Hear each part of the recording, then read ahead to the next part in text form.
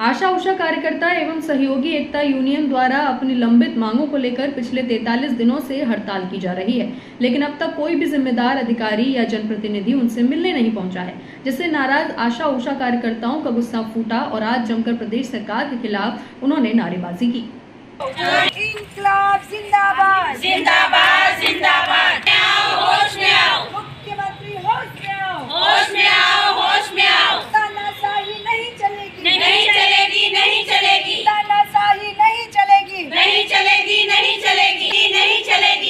की नीति नहीं चलेगी। नहीं चलेगी नहीं चलेगी। दमन किया तो और लड़ेंगे। और लड़े अभी तो ये अंगड़ाई है। आगे और लड़ाई है। अभी तो ये अंगड़ाई है। आगे और लड़ाई है।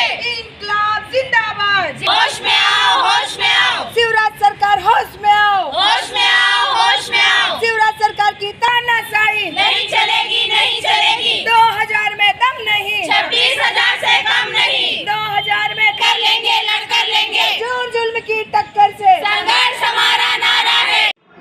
ವರ್ಷ जी आशा उषा कार्यकर्ताओं का जो ये चल रहा है प्रदर्शन आज हार दिख रहे हैं सभी के गले में। जी। क्या है मामला? जैसा कि सभी मीडिया कर्मियों और पूरे मध्य प्रदेश में पता है कि 15 मार्च 2023 से आशा कार्यकर्ता संयुक्त मोर्चा के साथ में अनिश्चितकालीन हड़ताल कर रही है।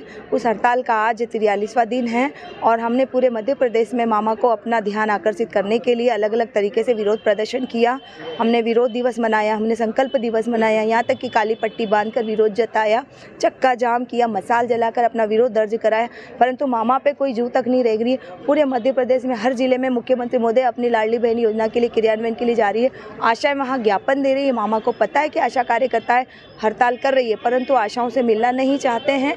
हम लोग इसीलिए आज क्रमिक भूख हड़ताल कर रहे हैं, पच्चीस अप्रैल से पाँच दिवसीय भूख हड़ताल रहेगी और पूरे मध्य प्रदेश में दस से पंद्रह पंद्रह आशाएँ या ज़्यादा आशाएँ भी रहेंगी भूख हड़ताल पे। इंदौर में पंद्रह आशा कार्यकर्ता डेली भूख हड़ताल पे रहेगी चौबीस घंटे के लिए और अगले दिन पंद्रह आशा कार्यकर्ता फिर बैठेगी ताकि मामा हमारी मांगे सुने और हमारी मुख्य मांगे कि आशा कार्यकर्ताओं को सरकारी कर्मचारी का दर्जा दिया जाए और छब्बीस हज़ार न्यूनतम वेतनमान दिया जाए। जब तक कि हमें सरकारी कर्मचारी का दर्जा नहीं दिया जाता है अन्य राज्यों की तरह आशा कार्यकर्ता को दस हज़ार रुपये दिए जाए और पर्यवेक्षक बहनों को पंद्रह हज़ार रुपये दिए जाए।